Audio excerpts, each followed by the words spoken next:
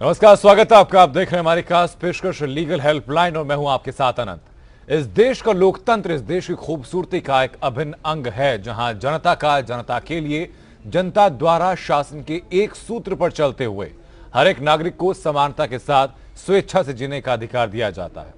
लोकतंत्र की आत्मा, संविधान को कहा जाना गलत नहीं होगा, और इसी संविधान का प्रियमल, यानी संविधान की प्रस्तावना भी समाज के हर व्यक्ति के लिए समता और न्याय की बात करता है।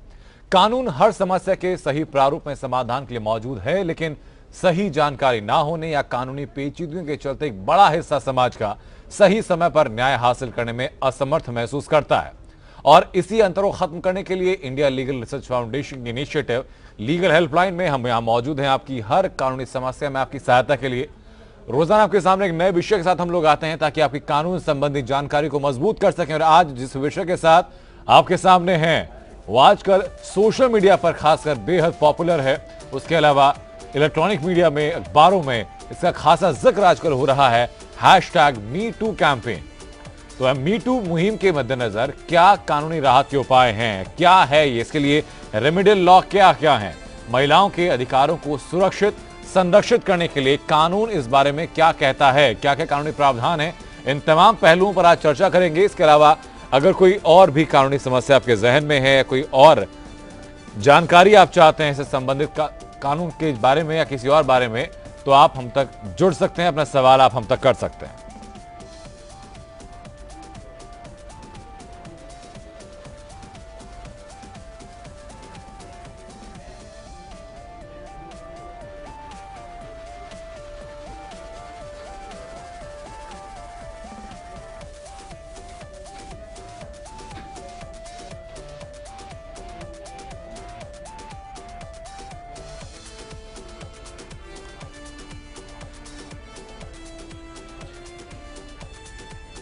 कानूनी सहायता के लिए आप फ़ोन कर सकते हैं आठ तीन सात सात शून्य शून्य नौ छह चार पाँच और आठ तीन सात सात शून्य शून्य नौ छह तीन छह। इन दोनों में से किसी भी एक नंबर पर फ़ोन करके आप हमारे साथ जुड़िए।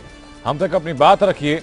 हमारे साथ हमारे साथ पैनल में जो लीगल एक्सपर्ट्स होंगे, उनकी सहायता से आपको हम जानकारी ज़रूर मुहैया कराएँगे। हमारे साथ एडवोकेट्स होंगे।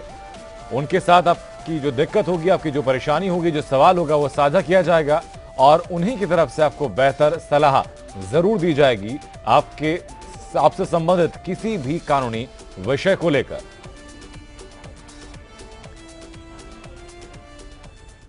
और जो मेहमान हमारे साथ जुड़े हैं, उनका परिचय आपसे कराते हैं। के शर्मा हमारे साथ साथ हैं, अधिवक्ता हैं supreme court of India sir Manjusha हमारे साथ हैं, अधिवक्ता हैं Allahabad high court, Lucknow bench से। बहुत स्वागत आप दोनों लोगों का। के के शर्मा साहब, शुरुआत में आपसे करूँगा कि लोग मी टू कैंपेन की हम लोग बात करते हैं। लीगल सैंटिटी क्या है इस कैंपेन की? देखिए चूँकि ये जनता को कानूनी रूप से फ़ायदा पहुँचाने वाली वाला शो है तो मैं आपके शो से एक लाइन चुराऊँगा।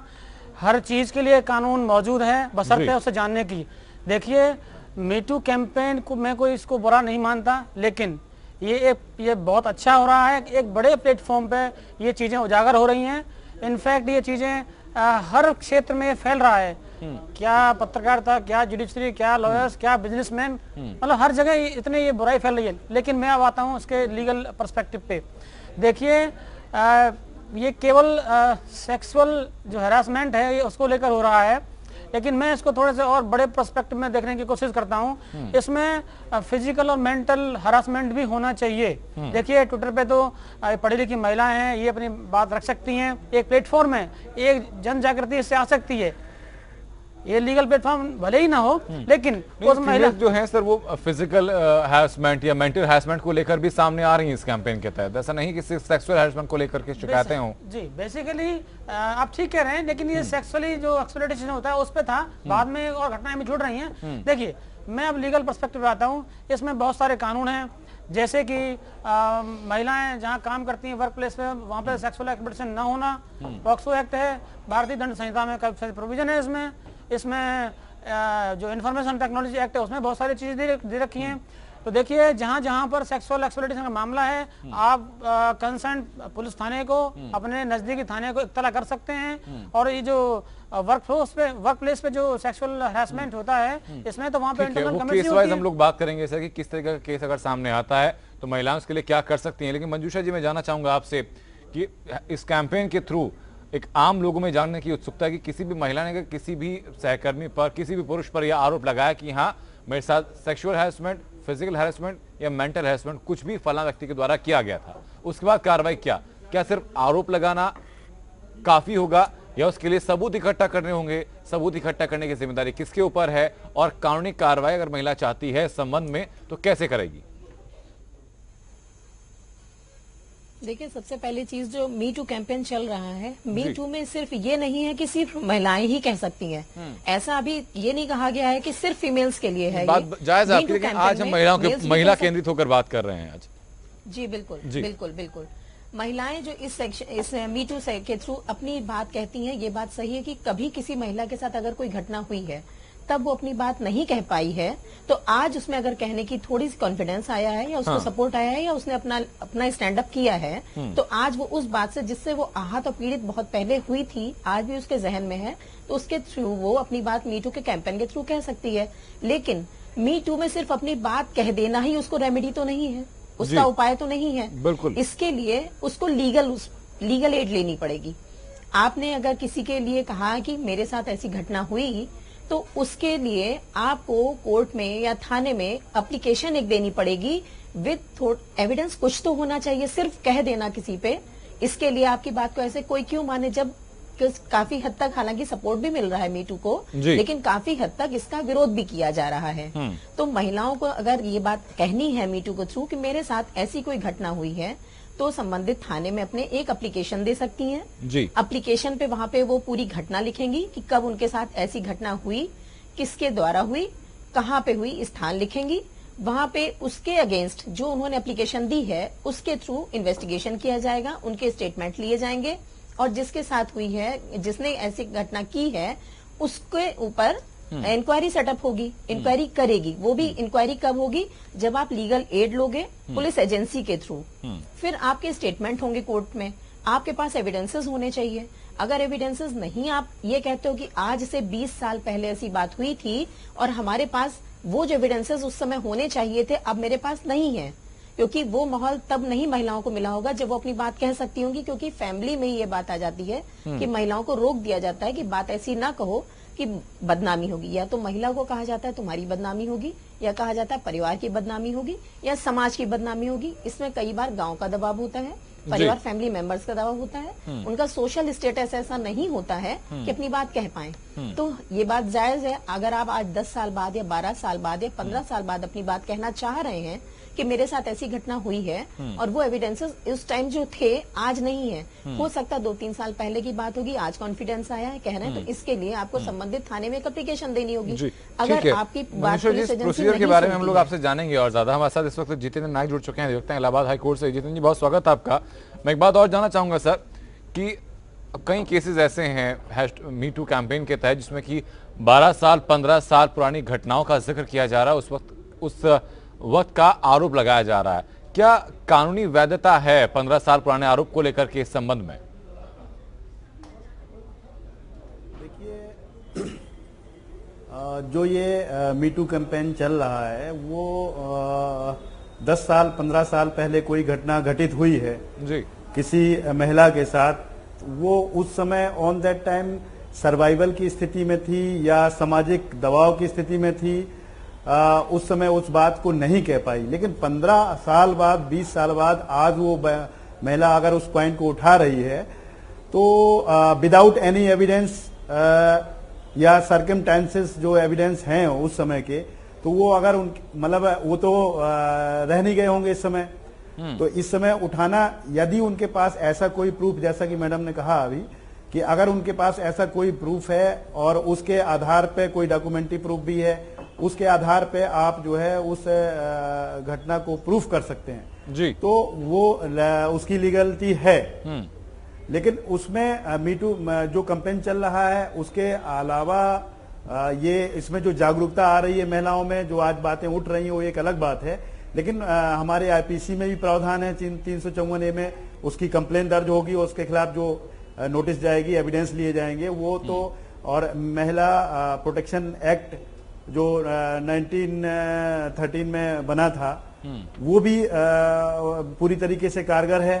अभी निर्भया कांड जी बिल्कुल जितनी आपकी आवाज़ हम तक नहीं पहुँच पा रही बीच में रुक गई आपकी तो, आवाज़ वापस हम कोशिश करेंगे आपके साथ जुड़ने की यहाँ पर के के शर्मा कुछ कहना चाहते हैं। देखिए मेरे दो साथियों जो बात कर रहे हैं मैं एक चीज़ जोड़ना चाहूँगा। हम्म। देखिए मुकदमा दर्ज करने के लिए या एफआईआर दर्ज करने के लिए आपके पास सबूत होना आवश्यक नहीं है। एफआईआर हमेशा on the basis of allegation होती है। ये पुलिस का काम है कि जाँच के दौरान मुकदमे की जाँच के दौरान वो सबूत इकट्ठा करे गवाहों का बयान दर्ज करे। ये शिकायतकर्ता का काम नहीं है कि वो वहाँ पर एविडेंस लेके आए। क्योंकि ये स्टेट केस है।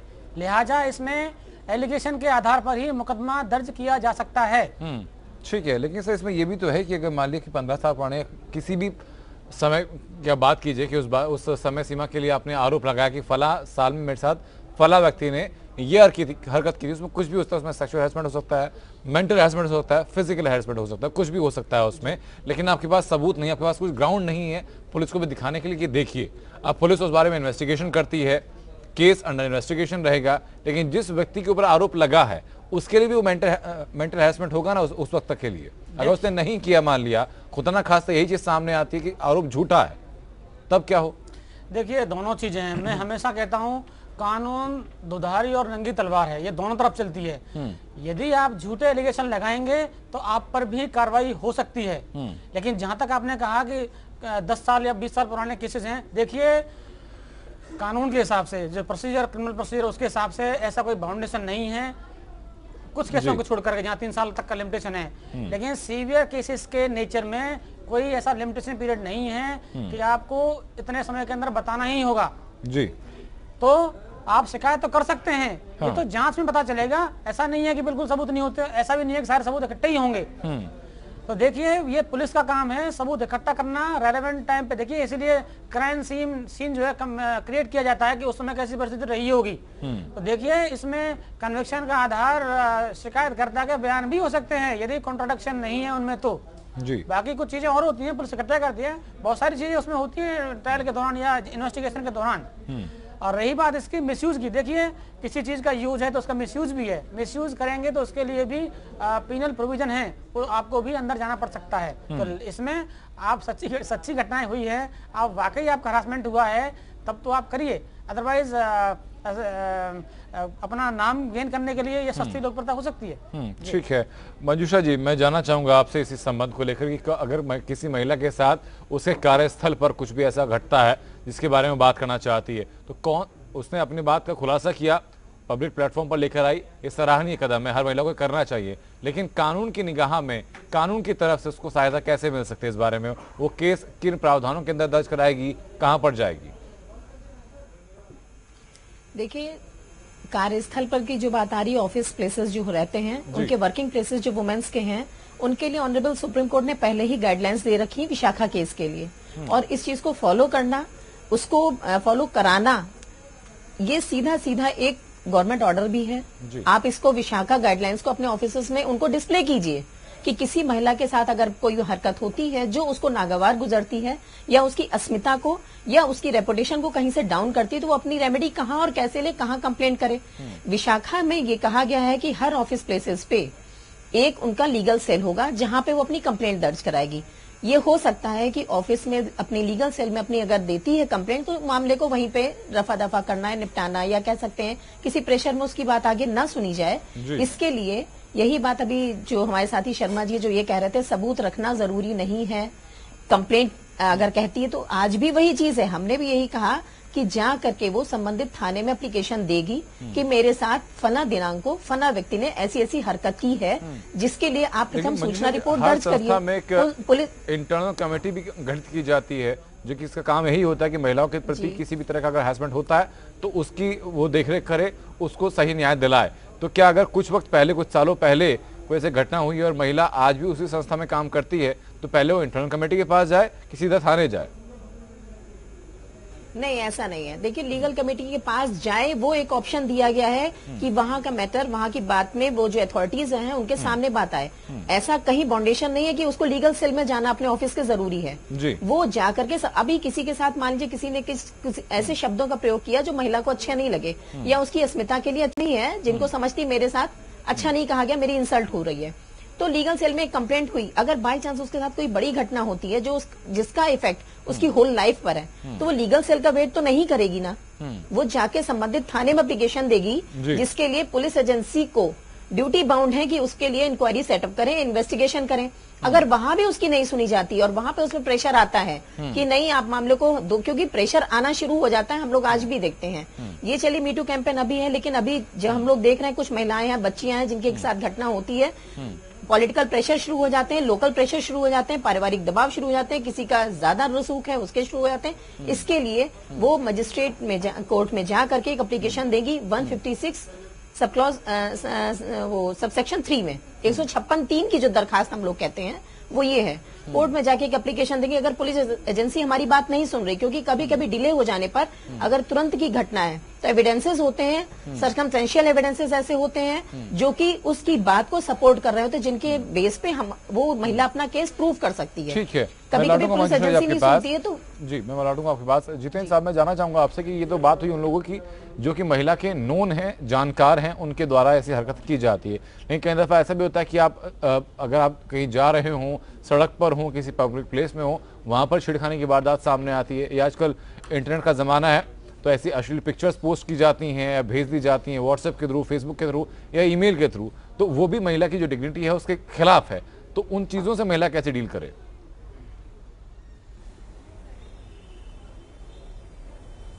जितेंद्र नायक। हेलो जी। अब तो शायद सर हमारा सवाल पहुँच नहीं पाया बच्चा के शर्मा आप जवाब दें इस बात का। देखिए आपके सवाल के उत्तर में मैं एक डेफिनेशन है sexual harassment work women at work place मैं पढ़ देता हूँ वर्क प्लेस होता क्या क्या है? नहीं वर्क प्लेस पे तो हमने बात की सर मैं बात कर रहा हूँ कि पब्लिक प्लेस की या फिर किसी साइबर के माध्यम से ये चीज़ करने की कोशिश की जाती है। देखिए इसमें सेक्सुअल हरासमेंट वुमेन में इसके पुख्ता इंतज़ाम है इवन आप ट्रांसपोर्टेशन में हैं वहाँ पर भी आप इसका शरण ले सकते हैं। और आईपीसी में तो साफ़ साफ़ प्रोविज़न है वायरिज्म है स्टॉकिंग है। यदि इवन आपको कोई घूरता भी है आपका कोई पीछा भी करता है और ऐसी जगह पे वो आपकी प्राइवेसी भंग कर रहा है जो आप नहीं चाहती उसमें भी वो भारतीय दंड संहिता की शरण ले सकती हैं। तो इसके लिए प्रॉपर पुख्ता इंतज़ाम पहले से हैं। ज़रूरत है तो सिर्फ़ आप इंतज़ाम क्या है सर? महिला कहाँ जाए ऐसे वक्त में? मान लिया व्हाट्सएप के द्वारा कोई ऐसी अश्लील फ़ोटो या वीडियो भेजी जाती है फेसबुक के द्वारा भेजी जाती है या किसी भी ईमेल के माध्यम से भेजी जाती है तो इस संबंध में आप व्यक्ति को जानते तो नहीं है लेकिन हैरेसमेंट हो रहा है। देखिए- तो आप शिकायत कैसे करेंगे? मैं थोड़ा सा इसको ऐसे कह, कह सकता हूँ। देखिए चूँकि ये अब एक बड़ी घटना के तौर पर भारत में उभर रही है इस पर माननीय उच्च न्यायालय भी सियोमोटो कॉग्निजेंस ले सकते हैं और कंसर्न डिपार्टमेंट से पुलिस से जिससे भी वो रिपोर्ट मंगा सकते हैं कि ऐसी दिल्ली में या किसी खास जगह पे ऐसे कितने मामले में हैं कितने मामले में हैं और सरकार ने क्या डेटा तैयार किया है और कितनी कितनी शिकायतों पर कार्रवाई तुरंत की जा रही है एक चीज़।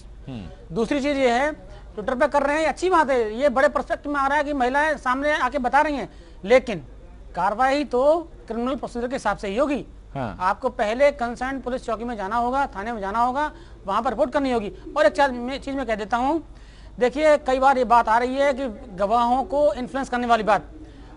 भारतीय दंड संहिता में इसके पुख्ता इंतज़ाम कानून ने कर दिए हैं। सेक्शन एक सौ पचानवे आईपीसी का है। उसमें यदि किसी विटनेस को कोई इन्फ्लुएंस करता है या धमकाता है तो उस आदमी के खिलाफ गवाह को धमकाने पर कार्रवाई होती है। तो आप यदि वास्तव में पीड़ित हैं तो आप निश्चिंत होकर के कानून की शरण ले सकती हैं। कानून जो है लॉ विल वर्कआउट जी ठीक है। लेकिन मंजूषा जी आमतौर पर देखा जाता है कि महिलाएँ से अगर पूछा जाए इस संबंध में कुछ भी तो हिचकिचाती हैं। तो क्या कोई ऐसा प्रावधान है कि अगर थाने में वो जाती है अपनी शिकायत दर्ज कराने तो वहाँ पर कोई महिला पुलिस कर्मी ही उनसे बात सुने उनकी बात सुने उनकी बा- उनसे बात करे? जी हम आपके एक बात का और जवाब देना चाहेंगे जो अभी बात हो रही थी कि अगर इंटरनेट पर उनका कोई वीडियो वायरल होता है या उनकी फ़ोटो अपलोड होती है ऐसी जिस जो नहीं होनी चाहिए। इसके लिए इंफॉर्मेशन टेक्नोलॉजी एक्ट है आईटी एक्ट है। साइबर क्राइम के थ्रू इसमें हम अपनी एप्लीकेशन अपनी जो हमारी शिकायत है वो हम दर्ज करा सकते हैं। इसमें क्या जैसे मान लीजिए अगर किसी ने यूट्यूब पे या गूगल पे या नेट पे हमारा कोई कोई भी पोस्ट हमारा अपलोड ऐसा किया है कोई भी मेरी तस्वीर ऐसी की है वो बिल्कुल समझ में आता है पकड़ में आता है यूआरएल नंबर से। यूआरएल नंबर जो होता है वो बता देता है किस व्यक्ति ने कहाँ से किस समय वो पोस्ट की है जो महिला की नहीं करनी चाहिए थी उसको। एक तो ये आता है कि जो हमारा गूगल पे या नेट पे जो हमारी तस्वीर अपलोड हो जाती है जिसके खिलाफ कंप्लेंट तो साइबर क्राइम सेल है। साइबर क्राइम सेल में आप एक एप्लीकेशन दे सकते हैं कि ये देखिए ऐसा है प्रिंट आउट उसका निकाल करके कि ये प्रिंट आउट लेकर के एप्लीकेशन की ये देखिए ऐसी ऐसी मेरी फ़ोटो अपलोड हुई है इसके खिलाफ हम कार्रवाई चाहते हैं। तो वो गूगल से यूआरएल नंबर ले करके उसकी डिटेल मंगा लेते हैं और उसके लिए जो वो इन्वेस्टिगेशन सफिशियंट मतलब ये पुख्ता हो जाता है कि हाँ इनकी फ़ोटो इस व्यक्ति ने अपलोड की है क्योंकि सबको एलिगेट नहीं कर सकते तो उस व्यक्ति के खिलाफ एफआईआर दर्ज हो जाती है। दूसरी चीज़ जो आपने अभी पूछा कि जो शिकायत है वो कहाँ कह सकते हैं कि महिला की शिकायत महिला ही सुने। तो इसके लिए देखिए हमारे प्रोविजंस हैं जियोज हैं पुलिस एजेंसी के लिए गाइडलाइंस है कि एक चौकी पे भी महिला कांस्टेबल की महिला सिपाही की तैनाती की जाएगी। जो फॉलो नहीं की जा रही है और इसके शायद उनकी इस बात के जो इग्नोर कर रहे हैं उसके हम आप ही जिम्मेदार हो सकते हैं क्योंकि जब गाइडलाइंस है कि आप चौकी पे भी एक महिला पुलिस या महिला सिपाही आप भर्ती करें जो कि महिलाओं की बात सुनने के लिए तो है। जी। महिलाओं की बात सुनने के लिए जो उनसे संबंधित है उनकी डिग्निटी से संबंधित है उनकी अस्मिता से संबंधित है और ये बात सही महिलाएँ अपनी बात कहने में बहुत हिचकिचाती हैं। तो ये बात कहना कि महिला की बात महिला ही सुने महिला स्पष्ट बोल सकती है कि हमारे साथ ऐसी बात हुई ये दरखास्त है और इन्वेस्टिगेशन जो बात हम अपनी कहना चाहते। हैं वो महिला सिपाही से ही हम बता सकते हैं है या महिला एसआई से ही बता सकते हैं। देखिए इसके चलते हमको यहाँ पर चर्चा का विराम भी देना होगा। बहुत बहुत शुक्रिया के के शर्मा साहब। मंजूषा जी जीत नायक साहब आपका हम तो जुड़ने के लिए उस बारे में हमारे दर्शकों को बेहतर और सटीक जानकारी पहुँचाने के लिए। India legal research foundation initiative, legal helpline का एकमात्र उद्देश्य यही है कि समाज के हर वर्ग के हर व्यक्ति को बेहतर और समान रूप से न्याय मिले। इस बारे में कोई भी, कैसी भी दिक्कत आपके सामने आती है तो आप निसंकोच होकर हमारे इस कार्यक्रम का हिस्सा बन सकते हैं। नमस्कार।